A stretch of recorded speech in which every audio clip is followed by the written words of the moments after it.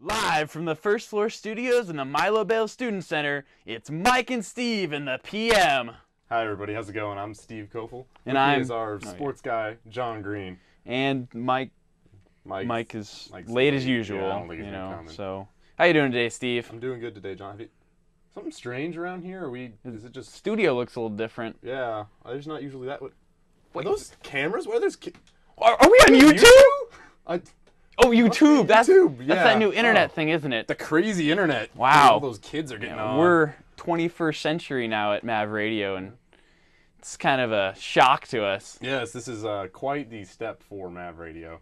From a listening base of 10 in the Milo Bail Student Center to Yeah, to, millions on YouTube. or the ten that will search the video. So hello to all you YouTubians out there that you know might catch Mike and Steve and welcome us to the new world. The, the, new world of the internet. Yeah, I think we're going to talk a little bit today about um, how our show got started, which Mm-hmm. is Stephen Mike and the PM. John Green's our sports guy. And I think we're going to talk a little bit about Mav Radio last year. Yeah. Um, and about uh, what Mav Radio is going to be doing this year and how we are going to be improving and becoming a stronger, better campus radio station. taking over Omaha in the process. Yeah, slowly we're going to strangle the life out of the river and those those other guys that do that other show. We don't end it anyways. No, no. So let's start talking about the beginning of Mav Radio and where it originally came from. The origins of Mav Radio. Back in the 1850s, Yes. um, when UNO had just started, they decided to start a campus radio station. I believe is that Yeah. correct? Abraham Lincoln actually gave him the grant to do Yeah, that. Yeah. yeah. But it took about 100 years before they finally got going. Yeah. 1970s, uh, Mav Radio debuted on the uh, airways around Omaha. Unfortunately, there were a lot of lazy students back then and uh, didn't really keep it going. Yeah. And ironically enough, back in the 50s, they would just just yell, which is slightly more advanced than we are now. Yeah, our technology is about that level, isn't it? yeah, it's But, you know, we, we make do with what we do. And uh, nowadays, this is the fifth incarnation of Mav Radio, I believe. I'm not sure. It's It's been around. It's but, been around. You know, we're, we're back. We're KBUL. And uh, we operate out of the Milo Bail Student Center in the uh, UNO campus. The first floor. First floor, not the second floor of the cafeteria is, although kind of wish we were up there. Yeah. And- we could eat hot dogs while we That'd were. be delicious.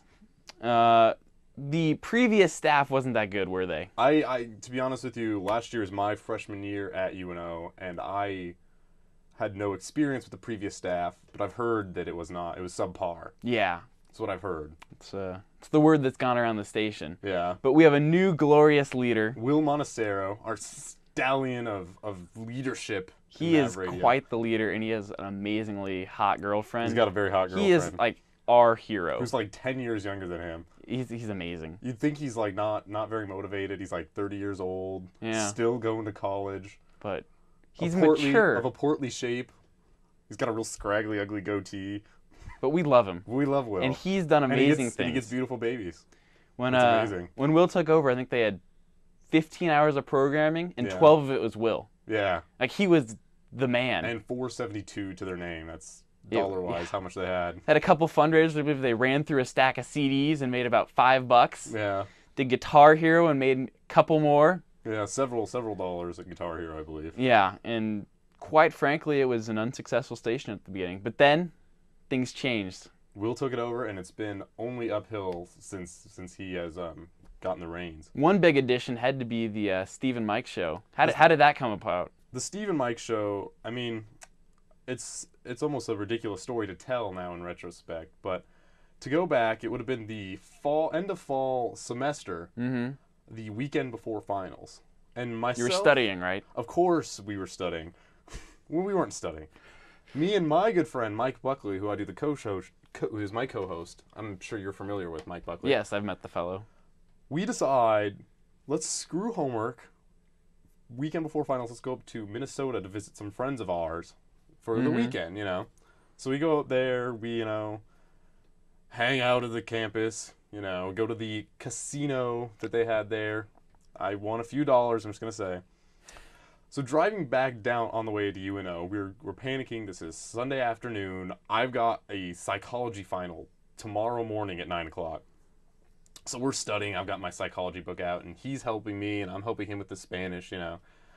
and and somehow in that long car ride home with our with our QT cup full of sunflower seeds, we just we kind of got a little crazy and we started joking around about how how it would be funny if we got a show on Mav Radio and yeah, it'd Uh-huh. be great if we had a show and it'd be funny, yeah, and then and then but no, we'd probably get in trouble because we'd make fun of too many people, you know, and and you know like yeah, and I think I said yeah, the gay group would probably get mad because we'd probably let something slip there and they would get upset and then they would pick at us and that then we would have to say that we were gay to like get out of it, you Right, know? right. and that we'd play the fray and you know and like make out in the studio Oh man. was like that would be our cop out. So we laughed about it, had a good time. I kind of knew Will through dodgeball, the dodgeball club there at UNO. Right. So we laugh about it, you know, yada yada yada. I talked to Will about it. A few weeks later, Stephen Mike and the PM debuted Oh, Wednesday no. afternoons. So that's how that started. hmm And and then I called you That's right. because I knew you had an interest in sports journalism. So I thought, who better to co- come do our sports than John Green? I became Mav Sports, Yes, I? he became Mav Sports and our producer and just about everything else that was really important to our show.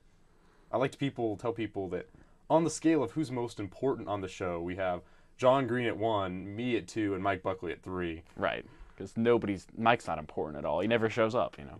who's just slightly above Andrew Masters, who's not even on our show, but might be if Mike doesn't show up. If you'd like to see Mav Radio, first floor of the Milo Bail Student Center, there's a studio. It says Mav Radio. Just come on in there and talk to us. Yes.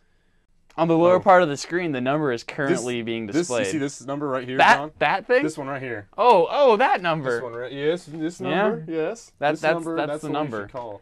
so That just give that a call, Yeah. and uh, You can Yeah. uh, get in touch with Will probably. Talk to Mike and I. There. Yeah. or Steve. Steve, you ever do that again, I'll take your life.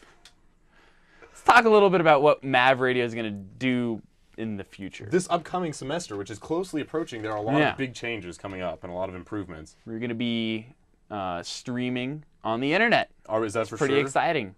All of you out there, wherever you are, you can watch us on. Well, the the camera feed won't be on Mav Radio. Right, except For our camera feed on Channel Nine. That, Right, KTV. That's only in Omaha. Right, and that runs live. Uh, but we will have the radio feed on the uh, internet. It should be, and our podcast should be back and better than ever, hopefully. More shows. We uh, have a new morning show. The B and what was it? The after. After the morning after show with B and B squared. something, like, that. that. Yeah. Wow. Cool guys apparently Good that guys. are really cool. They're good guys. Um, and we're gonna have 24/7 coverage. Are we? Yeah, we're gonna stream all night long.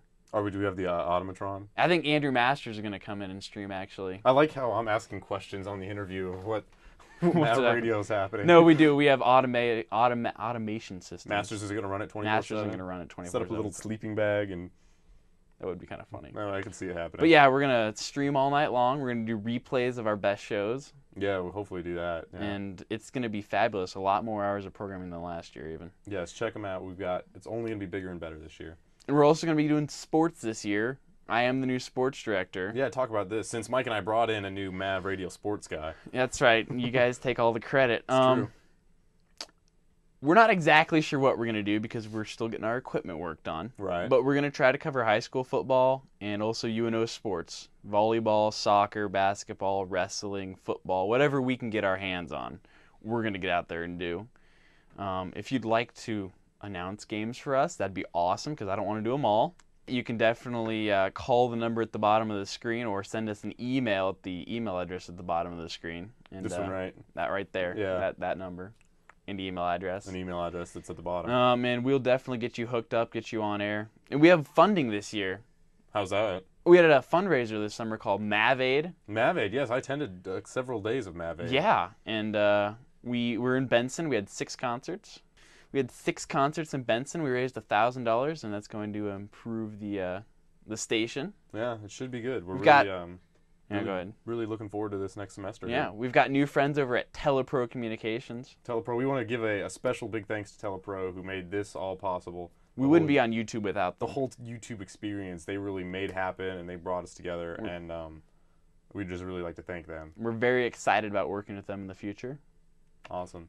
So, we'd like to wish you a very sunny afternoon here, and uh, us again. Another thanks to Telepro. Yeah, You all stay classy now, Omaha. listen to Mav Radio. It's awesome.